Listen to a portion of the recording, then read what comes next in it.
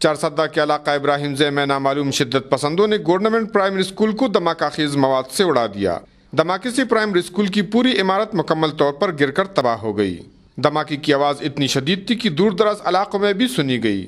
School کی عمارت میں دو کمرے، ایک برآمدہ اور دو باتھ روم شامل تھے، جو دھماکے سے مکمل طور پر تباہ ہو گئے۔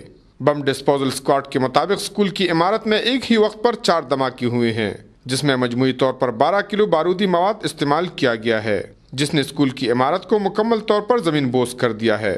اسکول انتظامیہ کے مطابق مذکورہ اسکول میں دو سو سے زیادہ بچے زیر تعلیم تھے۔ تاہم دھماکے سے بچوں اور اساتذہ کا تمام فرنیچر عمارت تلے دب کر تباہ ہو گیا ہے۔ مقامی لوگوں کے مطابق دھماکہ رات کی تاریکی میں کرایا گیا ہے۔ تاہم اسکول میں دھماکہ اور عمارت تباہ ہونے کے باوجود صبح بچوں نے کل آسمان تلے زمین پر بیٹھ کر کلاسز لیے اور اپنی تعلیم جاری رکھی۔ ذرائع کے مطابق علاقہ ابراہیم زی میں یہ دوسرا اسکول ہے جسے شدت پسندوں نے دھماکے سے اڑا دیا ہے۔